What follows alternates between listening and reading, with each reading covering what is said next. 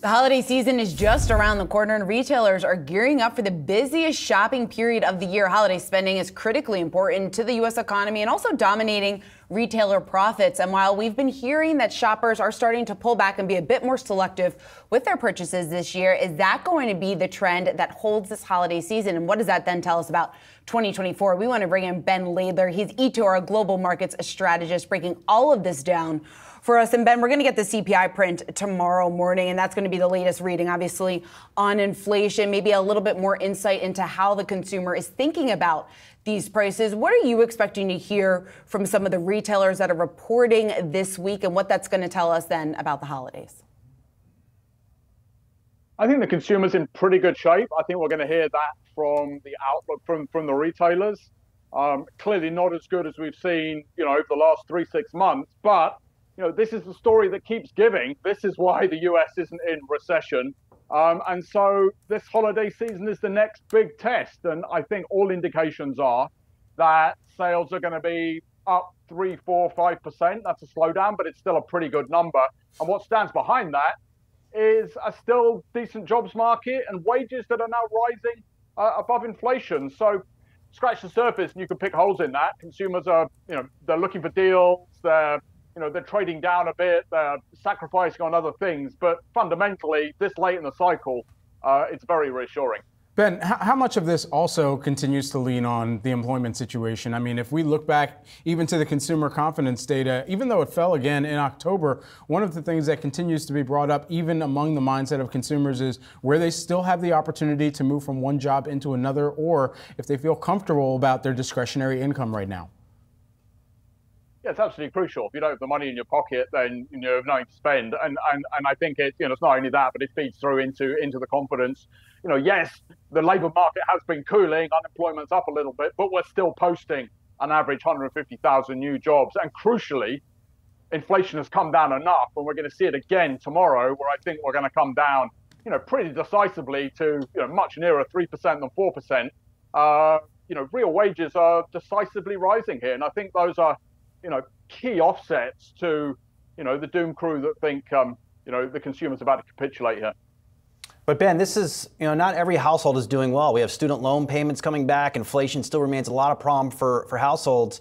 Why do a large percentage of consumers in this country still feel so depressed about their financial future? Yeah, absolutely. And, uh, uh, don't get me wrong here. There's a, there has been a big slowdown Christmas last year, we grew seven to eight percent. So you know, growth rates have, have declined significantly. You ask consumers, you know, how many of you are only going to buy if you see a deal? It's you know getting on for two thirds. Uh, you know, the growth rates for online, which is cheaper, are running at twice uh, the growth rates of, uh, of, of, bricks and mortar. Uh, you know, dollar stores are coming in as the third most popular place to shop. I mean, scratch the surface, and you know, to your point, you see plenty of signs of consumer stress. But again, you know, we're very late cycle here. Um, you know, I don't think we're too far away from the Fed being able to, to, to cut interest rates. So we may be sort of running on fumes, but I think the overall consumer remains, you know, fairly resilient. Ben, so stressed consumers, some households struggling in this country. Do you have a fear of missing out on the rally we have seen in markets the past month? Well, luckily, we've been in it, and I and I think that's been the message from you know the, the early arrival of Santa Claus over the last uh, over the last couple of weeks. You know, we unwound two months of underperformance in basically a week. So I think you've got to be in this market. It's a reminder that you've got to be in this market. But I think the fundamentals are pretty good, and I think they've been good for a while. I think you know this vice of high bond yields and high oil prices has eased off. Um, that's allowed markets to, to perform. Uh, we've refocused a little bit on the fundamentals. I mean, the earnings recession is over, and I think that earnings story continues to build from here. And we're pushing a little bit on an open door on the technical side. I mean, this is the best seasonality of the year. People are holding too much cash uh, going into 2024, and um, and buybacks have just restarted after after earnings season. So I, uh, I don't find it difficult to make the bull case. Ben, what's going to lead us higher then?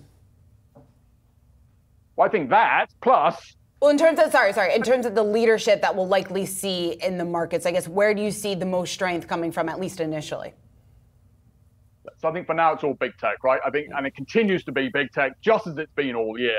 I think you know what big tech gives you is you know, it's leading the earnings recovery today. It's those 30, 40% earnings, you know, growth numbers versus basically nothing for the rest of the S&P 500. A and B, you know, we do have most of the slowdown still ahead of us. So people are going to be worrying about earnings. They're going to be worrying about cyclicals. Uh, I don't think they're going to be worrying about, uh, you know, the different growth dynamics of big tech and the fortress balance sheets. Uh, so initially stay with tech, but I think the more we get into next year, the closer we get to the Fed cutting, the more we move through this sort of soft landing, I think people are going to be looking at the, the sort of cheaper interest rate sensitives. So real estate, first and foremost, it's it's the big you know REIT conference at Nareit this week. That's when this is where people I think should be doing the homework on something I think that we could really be looking at again next year. Um, you know, it gets tired a little bit with the brush of how bad offices are and the, uh, the structural issues there, but you know that's only five percent of the of the REITs market.